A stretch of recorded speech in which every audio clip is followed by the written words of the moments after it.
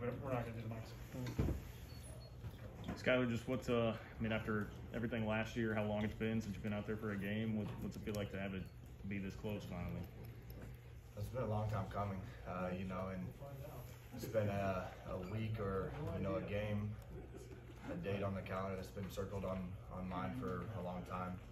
Um, you know, and saying all that, it's I'm just eager to go out and, and go play, you know, and, and be out there with my teammates and be in the fire again. You know, I think I'm.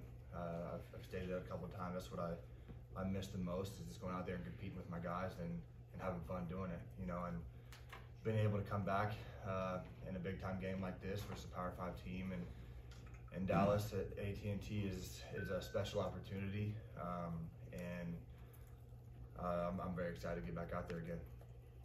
Do you anticipate that there will be much rust for you to shake off once you get out there? I'm confident that I put in the work um, to, to prevent that. You know, not saying there there might be a little bit. I don't, I don't know. Um, that'll be something that um, I have to, to, to you know wait and see. Um, but uh, I believe in, in my preparation and the time that I put into to my game this summer and, and preparing for this game the past couple of weeks. You know, uh, to best uh, you know limit that from happening.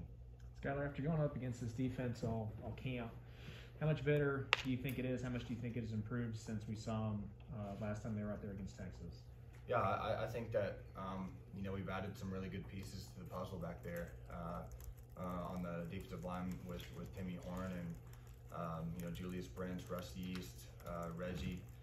You know all the guys that we've brought in uh, transfer wise, I think are, are, really good additions to our football team. Uh, they're great players, they're great leaders, great teammates. You know they're everything that you want in a player on the team and. You know, I think ultimately, you know, having guys like you know Eli Huggins and Cody Fletcher and J Mac coming back, you know, I think that just we, we have a lot of good uh, leadership on that side of the ball and guys that have played a lot of football. And I think uh, Deuce has done a tremendous job this offseason. I mean, uh, I think he's one of the, the best players on our defense, and, and he, he flies around. He, he he makes plays. He plays physical. He's really long, and um, you know makes it makes it hard in the in the pass game. Um, you know, I've, I've, he picked me off just uh, last week. You know, on a play that I thought was was a really good play on his part, you know. And so, um, you know, I'm excited to see those guys play. I think they they fly around. They they've been playing well together, and I think that's the most important part. You know, on both sides of the ball, and all 11 guys have to be on the same page uh, in order to be successful. And I think they've they've grown a lot in that aspect. Skylar, through all your time here, and forgive me if you've been asked this recently, but through your experiences, the injury, do you still feel like you have something to prove? Yeah, you know, I've, uh, you know, earlier on in my career, I would say yes, that, uh, you know, that I do have something to prove and, you know, to prove people wrong, prove the doubters, all that stuff, you know. But as I've gotten older, I just realized, you know, that that stuff is, uh, that stuff can can lead you down a, a dark road if you get caught up in, in trying to prove people wrong and, and prove this, prove that, you know, like I feel like as I've gotten older, I've, I've understood that, you know, no matter what, you know, no matter how I perform, whatever the case may be, uh, there's always going to be something that is going to be critiqued or not good, not good enough, you know. And uh, for me, you know, I'm I'm very you know grounded in, in who I am as a person and as a football player, and um, you know, I, I know that you know me going out there and giving my very best every single day is, is always enough. You know, no matter the end results, uh, win or lose, you know, if I if I do everything I can uh, to put myself and, and this team in a in a situation to to be successful and to win, then that's all I can do. And I feel like if I uh, you know don't take any shortcuts in my preparation and uh, leading up into to, to games and, and that I can I can sleep at night no matter no matter what takes place. And you know like I said earlier on in my career if you would ask me that I feel like I would have given you a very different answer. But um, like I said I'm very very grounded and, and humbled in, in, the situation that I am. I'm very grateful to be here and have this opportunity to play again. Uh, you know uh, thanking COVID you know I never thought I would say that but truly it did it saved me a year that I could come back and, and play the game that I love the most. So um, I'm just I'm excited to to get out there again and have fun. was there a point where, so to speak, you, you remember letting that go and, and shedding all that stuff? Yeah, I would say really the a big turning point for me was in 2019 when uh, Coach Klieman got here. Uh, really after that season, uh, truly, and even going into last year, you know, uh, uh, you know after the Arkansas State loss, you know there was just a lot of stuff in the air, you know, about me and people, you know, spoke their mind and you know that's that's their opinion, you know, and I just realized, you know, it doesn't, you know, I'm my biggest critic, you know, and I'll be the first to say it, no matter what anybody thinks, you know, I'm I'm harder on myself than anybody else is, and in saying that, you know, I understand that I'm not going to be perfect, and as much as I strive to be, and, and we, we all do on this team, and we, we want to be, we strive for perfection every single day, but in reality, there's going to be times where you're going to come up short, and um, things may not shake out the way that you want them to. But the biggest thing is how do you, how do you respond to that? You know, how do you funnel that energy into positive energy to um, propel you forward? You know, because that's that's the that's the biggest thing as life goes on. You know, the you know the, the world keeps turning, and um, you just gotta take those experiences and, and lessons and, and learn from them and um, funnel them in a direction to, to benefit you moving forward. And that's what I've tried to do. Scotty, you only got a little taste of it last year, but how excited are you to, at the prospect of having a whole season getting the ball to a guy like Deuce? Yeah, I'm, I'm excited. I'm excited. I, I think we all know Deuce is a really, really um, special player. Um, and I think that he's just gotten better this offseason and has really perfected his craft in, in little aspects that um, just having a year under his, his belt and some experience has benefited him um, in that aspect. And, um, you know, just we got to find ways to get him the ball. And um, whatever that may look like, uh, we got to get him touches and, and get him in space and let him let him be Deuce, you know. And the biggest thing for for him and you know what I'm going to encourage him and I have is you know to not doesn't have to be a superstar. You know he, he just needs to be himself and let the game come to him come to him and and make plays when when they're presented.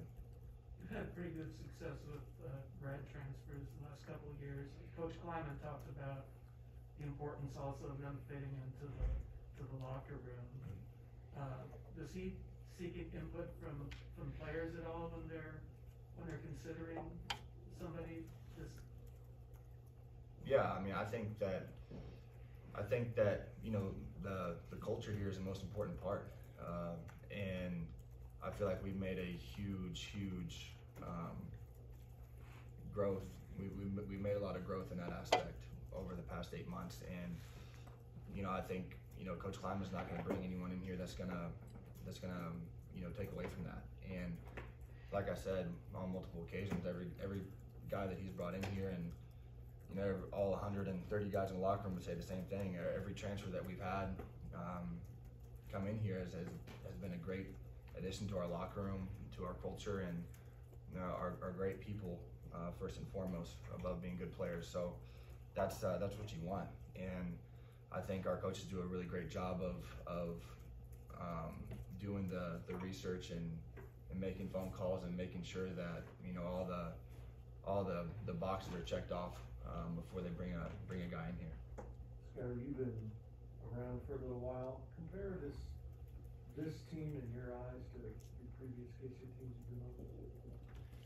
Well, I think we have the ability to be a really good football team, and um, you know what that means or what that looks like. I have no idea, and but I'll tell you where we're at right now. I, I feel very confident in who we are as a team. I feel like this is the most, uh, you know, like I said earlier on in, in fall camp, this is the most unselfish team that I've been a part of. I feel like we have a lot of playmakers, a lot of good players, but everybody wants to see the guy next to him succeed just as bad as they want to, um, personally. So I feel like when you have a team that has that that mindset, um, it, it, good things are going to happen. And like I said, what that looks like, I, I have no idea.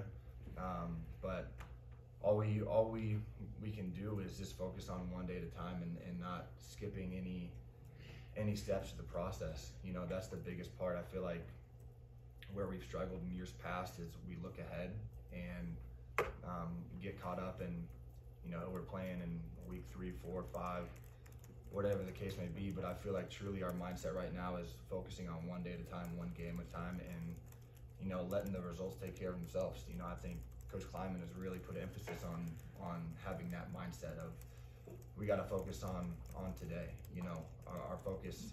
You know, my focus is at our 240 position meeting, and then all my focus is in you know that walkthrough before practice. Then you know it's just one step at a time and not getting ahead of ourselves uh, to where we're not taking any shortcuts to the process. To where whenever that game time comes, we're just pressing play and having fun. And when you have that mindset, you have that approach. No matter no matter the results, no matter the outcome, you can you can sleep at night knowing that you you gave it all you got. After, after the way last season ended, um, and maybe aside from that context, how important is this game for Kansas State? I think it's huge. Um, you know, anytime you get a chance to to kick off the season versus a Power Five opponent that's a proven program that has had a lot of success and is, is still, a, a, I mean, they're a really good program, and I think they do things.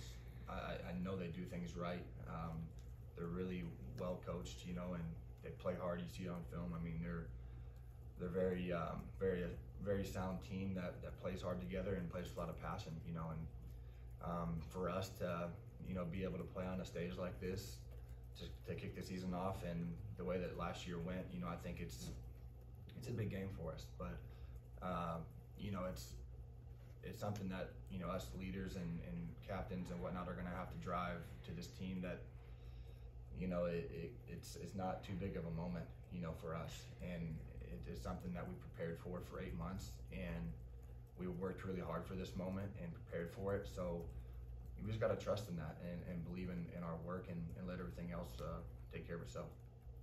Austin, Michael.